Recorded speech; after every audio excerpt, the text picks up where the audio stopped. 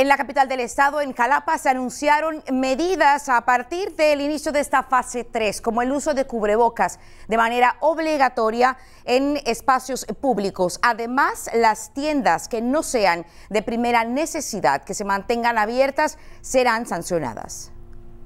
En sesión de Cabildo, el Ayuntamiento de Jalapa acordó tomar medidas específicas ante el anuncio de la fase 3 de la pandemia ocasionada por el COVID-19. Estas medidas serán publicadas en la Gaceta Oficial del municipio y destacan las siguientes. 1. Un subsidio por 9 millones de pesos en SEMAS que se destinará de la siguiente manera. 50% a usuarios populares. Dos estratos más bajos pagarán la mitad de la factura de su servicio de agua potable. 25% al interés social, 15% al interés doméstico medio y 5% de carácter residencial.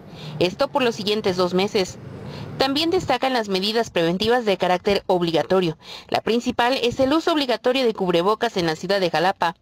También se limitará el número de pasajeros en el transporte público y se sancionarán los negocios que no sean de primera necesidad y que se encuentren abiertos.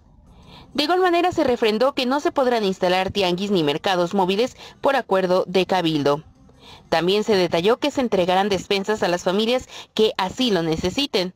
Se exhorta a la población a que coloquen una bandera roja en sus hogares para que se les entreguen insumos de primera necesidad. Denis López Barrera, Noticieros Televisa.